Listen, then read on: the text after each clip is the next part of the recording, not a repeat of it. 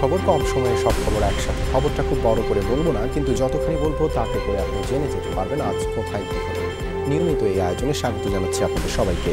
আমি দেবাশিস চন্দ্র সরকার। আগামী পনেরো নভেম্বর থেকে বদলে যাচ্ছে সরকারি ও স্বায়ত্তশাসিত অফিস সময়। সকাল নটায় শুরু হবে অফিস, চলবে বিকেল চারটা পর্যন্ত। মন্ত্রিসভার বৈঠক শেষে সচিবালয়ে ব্রিফিংয়ে কথা জানান মন্ত্রিপরিষদ সচিব খন্দকার আনোয়ারুল ইসলাম। মন্ত্রিপরিষদ সচিব জানান, শীত চলে আসায় সকাল আটটা থেকে দুপুর তিনটার পরিবর্তে নতুন সময় নির্ধারণ করা হয়েছে। সরকারি, আধা সরকারি স্বায়ত্তশাসিত ও আধা স্বায়ত্তশাসিত প্রতিষ্ঠানের জন্য এই সময় কার্যকর হবে। সচিব জানান দু হাজার তেইশ সালে সরকারি ছুটি থাকবে মোট বাইশ দিন। এছাড়া হাসপাতাল, বন্দর, গণপরিবহন সহ আঠারো ধরনের পরিষেবাকে অত্যাবশ্যক পরিষেবা হিসেবে ঘোষণা করতে নতুন একটি আইনের খসড়া অনুমোদন দিয়েছে সরকার। আইনটি পাশ হলে সংশ্লিষ্টরা চাইলেই ধর্মঘট, লকডাউন কিংবা লে অফ করতে পারবেন না। আইন লঙ্ঘনে সর্বোচ্চ এক লাখ টাকা জরিমানা অথবা এক বছর কারাদণ্ড অথবা উভয় দণ্ডে দণ্ডিত হবেন। সরকার মনে করে যে এই সেবাগুলো যখন তখন যার খুশি সে বন্ধ করেও দিতে পারবে না করে দিতে পারবে কোনো কারণে ধরেন কেউ হরতাল বাস, ট্রাক বা কিছু হরতাল তখন সরকার এটা রুলিং দিতে পারবে। বা জননিরাপত্তা বা জনগণের জীবনযাপনের জন্য প্রয়োজনীয় সরবরাহ, রক্ষণাবেক্ষণ যদি কোনো কারণে কেউ বাধাগ্রস্ত করে, সেক্ষেত্রেও সেটাকে ডিক্লেয়ার করতে পারবে। পনেরোই নভেম্বর থেকে নয়টার থেকে চারটা পর্যন্ত অফিস সরকারি বা স্বায়ত্তশাসিত প্রতিষ্ঠানগুলোতে। আর সুপ্রিম কোর্ট বা বাংলাদেশ ব্যাংক, এটা ওনারা বা স্কুল, কলেজ, এটা ওনারা ওনাদের কর্তৃপক্ষ যেভাবে সিদ্ধান্ত নেবেন, সেইভাবে মুক্তিযুদ্ধের সপক্ষে সব শক্তিকে একত্রিত করে বিএনপি নামক অপশক্তিকে মোকাবেলা করতে হবে, এজন্য শেখ হাসিনার নেতৃত্বে বৃহত্তর ঐক্যের আহ্বান জানিয়েছেন আওয়ামী লীগ সাধারণ সম্পাদক বায়দুল কাদের। বিকেলে কেন্দ্রীয় শহীদ মিনারে জাসদের পঞ্চাশতম প্রতিষ্ঠা বার্ষিকী উপলক্ষে সমাবেশে আহ্বান জানান তিনি। বলেন, মির্জা ফখরুল রংপুর থেকে দুর্ভিক্ষণ যন্ত্র দিয়ে ঢাকা জেলা আওয়ামী লীগের সম্মেলনের চেয়ার গুনেছেন ওবায়দুল কাদের চ্যালেঞ্জ করে বলেন, ঢাকা জেলা আওয়ামী লীগের সম্মেলনে বাইশ হাজার নয়, সত্তর হাজার চেয়ার ছিল। দেশ বাঁচাতে বঙ্গবন্ধু কন্যা শেখ হাসিনাকে ক্ষমতায় রাখতে হবে বলেও মন্তব্য করেন আওয়ামী লীগ সাধারণ সম্পাদক।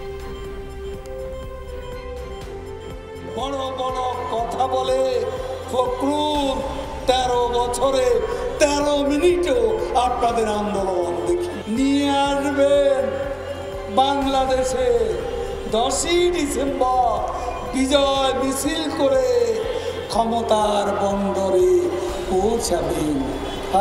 কত দৃশ্য স্বপ্ন নয় খোয়া। রঙিন খোয়া। এই খোয়া বচিরে কর্পূরের মতো। দেশের মানুষ ভয়ঙ্কর সংকটে আছে। এই সংকট কাটিয়ে উঠতে গণতন্ত্র ফিরিয়ে আনতে হবে বলে জানিয়েছেন বিএনপি মহাসচিব মির্জা ফখরুল ইসলাম আলমগীর বলেছেন, দেশে গণতন্ত্র না থাকলে কারোরই অধিকার থাকে না। বিকেলে গুলশানে বিএনপি চেয়ারপারসনের কার্যালয়ে দুর্গাপূজা পরবর্তী শুভেচ্ছা বিনিময় অনুষ্ঠিত হয়। সেখানে মির্জা ফখরুল বলেন, সর্বস্তরের মানুষ বিএনপির আন্দোলনে অংশ নিচ্ছে। খালেদা জিয়াকে মিথ্যে মামলা দিয়ে গৃহে অন্তরীণ করে রাখা হয়েছে বলে মন্তব্য করেন মির্জা ফখরুল। অনুষ্ঠানে দলের স্থায়ী কমিটির সদস্য গয়েশ্বরচন্দ্র রায় বলেন জাতীয়করণ থেকে বর্তমানে আওয়ামী লীগকে পিতৃকরণ করা হচ্ছে।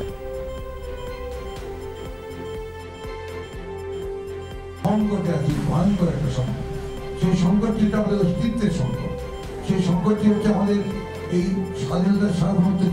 সংকট আমরা সবাই বিশ্বাস করি, যদি অল্প সময়ের মধ্যে বাংলাদেশের মানুষ আরেকবার মুক্তি যুদ্ধ যেভাবে করেছিল, সেইভাবে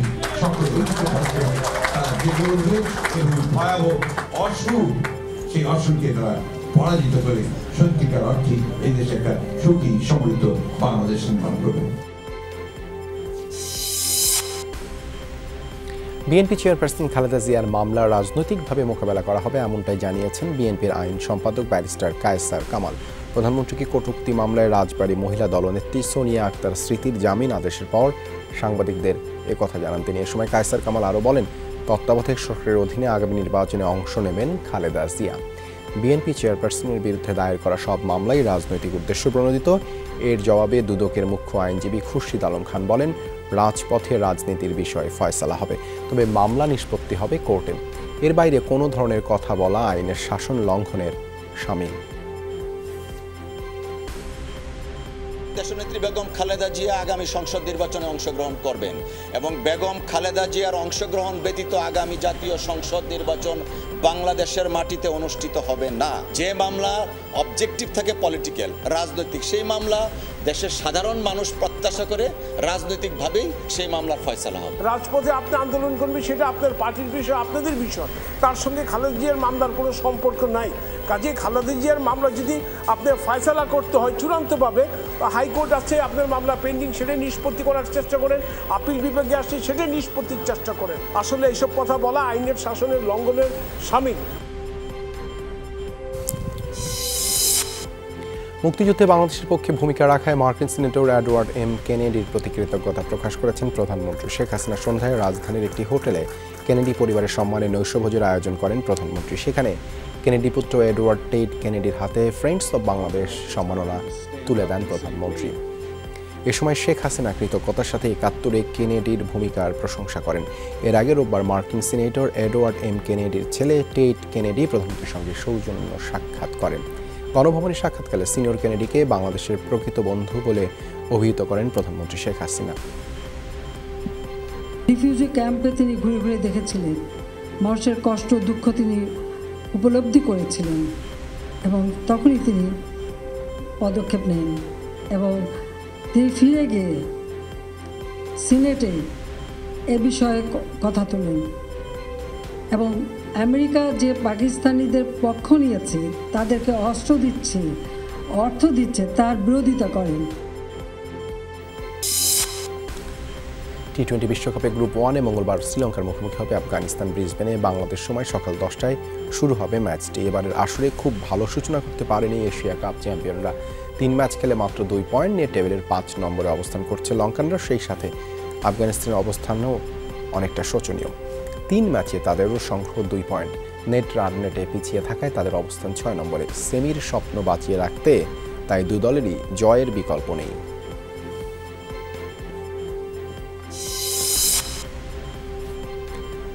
মঙ্গলবারের দ্বিতীয় ম্যাচে দুপুর দুটায় পয়েন্ট টেবিলের শীর্ষে থাকা নিউজিল্যান্ডের মুখোমুখি হবে ইংল্যান্ড। এই ম্যাচটিও হবে ব্রিসবেনে। এবারের আসরে চমৎকার সূচনা করেছে ব্ল্যাক ক্যাপরা একটি ম্যাচের পয়েন্ট ভাগাভাগি হলেও দুই জয়ে পাঁচ পয়েন্ট নিয়ে টেবিলের শীর্ষে তারা। অপরদিকে তিন ম্যাচে একটি জয়ে তিন পয়েন্ট নিয়ে দ্বিতীয় স্থানে ইংলিশরা বৃষ্টির কবলে পড়ে বাটলার বাহিনীকেও পয়েন্ট ভাগাভাগি করতে হয়েছে। তাই ইংল্যান্ডের জন্য বাঁচা মলার লড়াই হবে এটি। তবে জয় পেলে সেমিফাইনালের পথে এগিয়ে যাবে নিউজিল্যান্ড। আসন্ন বাংলাদেশ সফরের জন্য সতেরো সদস্যের ওয়ানডে ও ষোলো সদস্যের টেস্ট দল ঘোষণা করেছে। ভারত দুই ফর্মেটে অধিনায়কত্ব করবেন রোহিত শর্মা। পূর্ণশক্তির দল নিয়ে ডিসেম্বরের তিন ওয়ানডে ও দুই টেস্ট খেলতে বাংলাদেশ সফরে আসছে ভারত। দলে আছেন বিরাট কোহলি ও লোকেশ রাহুলের মতো তারকা ক্রিকেটার। ইঞ্জুরি কাটিয়ে দলে ফিরেছেন রবীন্দ্র জাদেজাও। অভিজ্ঞ ক্রিকেটার রবিচন্দ্র অশ্বিন ও মোহাম্মদ শামিও থাকছেন দলে। টেস্ট দলের নতুন মুখ শ্রীকর ভরত। ওয়ানডে দলের নতুন মুখ হিসেবে জায়গা পেয়েছেন রজত পাতিদার, রাহুল ত্রিপাঠী ও ইয়াশ দয়াল। চার ডিসেম্বর প্রথম ওয়ানডে দিয়ে শুরু হবে সিরিজটি। সহিংসতা না করলে যে কোনো রাজনৈতিক কর্মসূচিতে সহযোগিতা করবে পুলিশ কথা জানিয়েছেন নবনিযুক্ত Dhaka metropolitan police commissioner Golam Faruk. দুপুরে দায়িত্ব নেওয়ার পর প্রথম গণমাধ্যমের সাথে মত বিনিময়ে জনবান্ধব পুলিশিং এর উপর জোর দেন তিনি। বলেন, থানাগুলোতে সেবার মান বাড়াতে কাজ চলছে, বাহিনীর কেউ অপরাধ করলে ছাড় নয় বলেও। সাফ জানিয়ে দেন ডিএমপি কমিশনার। দায়িত্ব পালনকালে সবার সহযোগিতা চেয়ে কমিশনার বললে- বললেন, জঙ্গি সন্ত্রাসবাদ ও মাদক নির্মূলের নতুন নতুন কৌশলে এগুবে ডিএমপি।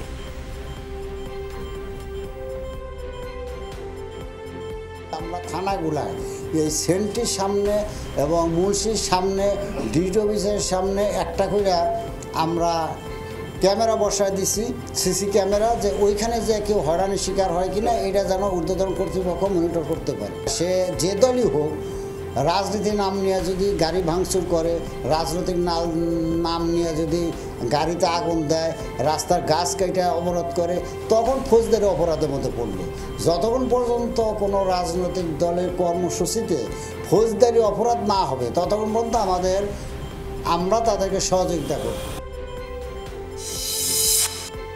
গেমের আড়ালে চলতো অনলাইন জুয়া। সেই জুয়ার কোটি কোটি টাকা পাচার হতো বিদেশে। খেললে টাকা পাওয়া যাবে সেই প্রলোভনে গেম খেলেন, কয়েন কিনতেন গ্রাহকরা। কিন্তু গেম আর জেতা হয় না। প্রথমে ফ্রি খেলার সুযোগ থাকলেও একসময় চিপস কিনতে হতো, সেই টাকাই নিয়ে যায় কোম্পানি। তিন বছর ধরে চালানো ওই কর্মকাণ্ডের হোতা উল্কা গেমস লিমিটেডের প্রধান সহ ছজনকে আটক করেছে র্যাব। র্যাব ছাড়াও এই জুয়াকাণ্ডের তদন্ত করছে সিআইডি ও কাউন্টার টেরোরিজম ইউনিট। তদন্ত সংস্থাগুলো বলছে শুধু খাতা কলমেই পাওয়া গেছে একশো চুয়াত্তর কোটি টাকা পাচারের তথ্য। আদতে এই পাচারের পরিমাণ আরও কয়েক গুণ বেশি।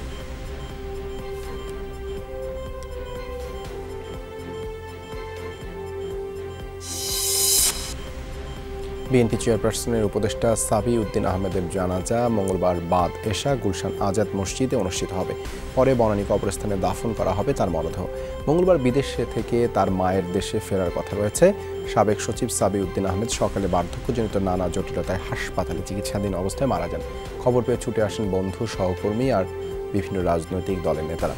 সহমর্মিতা জানান, শোক সন্তপ্ত পরিবারের প্রতি। সাবি উদ্দিনের চলে যাওয়াকে জাতির জন্য বড় ক্ষতি বলে মন্তব্য করেন তারা। আর চলে যাওয়াটা দেশের দেশপ্রেমিক মানুষ জাতীয়তাবাদী রাজনীতি যারা বিশ্বাস করেন তাদের জন্য একটা বড় ক্ষতি হলো। উই আর গুড ফ্রেন্ডস তারপরে রাজনৈতিক জীবনে বিভিন্ন দিক হয়েছে। সেটা তো বলার কোনো অপেক্ষা রাখে না। But as a friend he was a good person আমি দুই দিন আগে দেখতেও গিয়েছিলাম হাসপাতালে।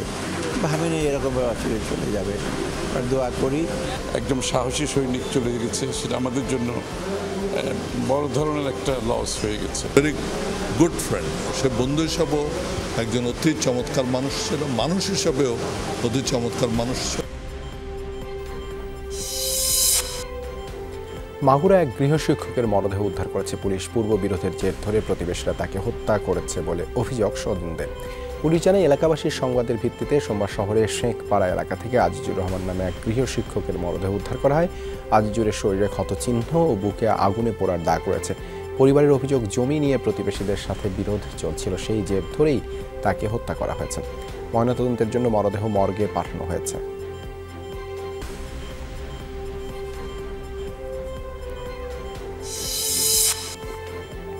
রাজশাহীতে প্রশ্নপত্র ফাঁসের মামলায় নজনকে বিভিন্ন মেয়াদে সাজা ও অর্থদণ্ড দিয়েছে বিভাগীয় সাইবার ট্রাইব্যুনাল আদালত। আদালতে পিপি ইসমত তারা জানান, বছরখানেক ধরেই রাজশাহীর বিভিন্ন জেলায় প্রশ্নপত্র ফাঁসের অভিযোগে থানায় মামলা হয়। সাক্ষ্য প্রমাণ শেষে সোমবার নটি মামলার রায় ঘোষণা করা হয়। বিচারক নয় আসামিকে সর্বোচ্চ সাত বছর সহ বিভিন্ন মেয়াদে কারাদণ্ড দেন। দেয়া হয় অর্থদণ্ড আর খালাস পান একজন। সাজাপ্রাপ্ত আসামিদের মধ্যে একজন পলাতক রয়েছে। আমন্ত্রণ ওয়ার্ল্ড কাপ কার্নিভ্যালে আপনাদের সাথে।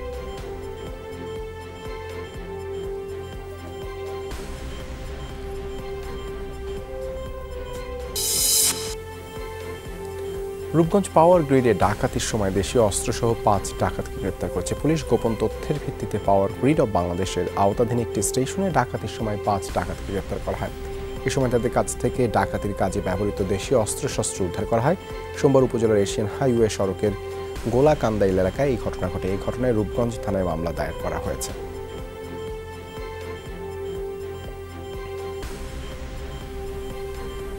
আখাউড়ায় ট্রেনে অস্ত্র ও মাদকসহ ছিনতাইকারী চক্রের ছয় সদস্যকে গ্রেপ্তার করেছে রেলওয়ে পুলিশ। পুলিশ জানায় আন্তনগর ও মেইল ট্রেনে ছিনতাইকারী চক্রের সক্রিয় তিন সদস্যসহ পাঁচজনকে আটক করা হয়। এ সময় তাদের কাছ থেকে দেশীয় অস্ত্র ও মাদক জব্দ করা হয়। এছাড়া রেল লাইনে স্লিপার, ক্লিপ চুরি করে পালানোর সময় একজনকে আটক করা হয়। তার থেকে আটটি স্লিপারের ক্লিপ উদ্ধার করা হয়। ক্লিপ খুলে নেওয়ার বিষয়টি কোনো নাশকতার পূর্ব পরিকল্পনা কিনা তা নিয়ে তদন্ত চলছে। দুপুরে আদালতের নির্দেশে ছিনতাইকারীদের কারাগারে পাঠানো হয়। প্রাকৃতিক দুর্যোগ ও আপৎকালীন জরুরি সাড়াদান ও উদ্ধার কার্যক্রম পরিচালনায় অত্যাধুনিক প্রযুক্তি সম্পন্ন ইমার্জেন্সি অপারেশন সেন্টার স্থাপন করেছে ঢাকা উত্তর সিটি কর্পোরেশন। সোমবার বিকেলে নগর ভবনে ইমার্জেন্সি অপারেশন সেন্টারটি শুভ উদ্বোধন করেন মেয়র আতিকুল ইসলাম। বলেন ইমার্জেন্সি কমান্ড সেন্টার থেকে দুর্যোগকালীন সাড়াদান ও উদ্ধার কার্যক্রম পরিচালনা করা হবে। এটি সারা বছর জুড়েই নিয়মিতভাবে সেন্ট্রাল কমান্ড সেন্টার হিসেবে কার্যক্রম চালাবে। নাগরিক সেবা সাধারণ মানুষের কাছে দ্রুততম সময়ে পৌঁছে দিতে এবং জনদুর্ভোগ কমাতে সেন্টারটি ভূমিকা রাখবে বলে আশা করেন মেয়র। ইমার্জেন্সি সেন্টার উদ্বোধনকালে উপস্থিত ছিলেন ডিআরই বাংলাদেশ দু হাজার বাইশে অংশগ্রহণকারী তিনশো চোদ্দ সদস্যের একটি দল। এই দলে রয়েছেন সাতাশটি দেশের সেনাবাহিনীর তেপ্পান্ন জন ঊর্ধ্বতন কর্মকর্তা ও বাংলাদেশ সশস্ত্র বাহিনীর সদস্য সহ বিভিন্ন এনজিওর প্রতিনিধিরা। ঝিনাইদহে নবগঙ্গা নদী দখলমুক্ত করার দাবিতে মানববন্ধন কর্মসূচি পালিত হয়েছে। সোমবার সকালে জেলা প্রশাসকের কার্যালয়ের সামনে এই কর্মসূচি আয়োজন করে সদর উপজেলার চার গ্রামের বাসিন্দারা। কর্মসূচিতে ব্যানার, ফেস্টুন নিয়ে এলাকাবাসী মৎস্যজীবী সহ নানা শ্রেণি পেশার মানুষ অংশ নেয়। এ সময় বক্তারা বলেন যার গ্রামের পাশ দিয়ে বয়ে যাওয়া নবগঙ্গা নদীর ষাটটি স্থানে বাঁধ দিয়ে মাছ চাষ করা হচ্ছে। স্থানীয় কৃষকরা নদীতে গেলে তাদের মারধর করা হয়, এমনকি নদীর পানীয় ব্যবহার করতে দেয়া হয় না। তাই দ্রুত বাঁধ অপসারণের দাবিতে জেলা প্রশাসকের কাছে একটি স্মারকলিপি পেশ করা হয়।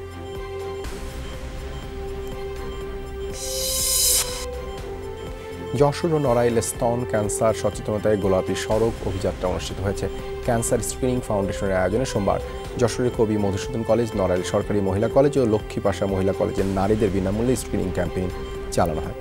ক্যাম্পেইনে প্রধান অতিথি হিসেবে উপস্থিত ছিলেন বাংলাদেশ ক্যান্সার হাসপাতালের চিকিৎসক অধ্যাপক মোহাম্মদ হাবিবুল্লাহ, তালুকদার রাশকিন। এ সময় তিনি শিক্ষার্থীদের মধ্যে ক্যান্সার সম্পর্কে সচেতনতা তৈরির তাগিদ দেন। এই ছিল আজকে সব খবরের আয়োজনে। এতক্ষণ সাথে থাকার জন্য ধন্যবাদ সবাইকে।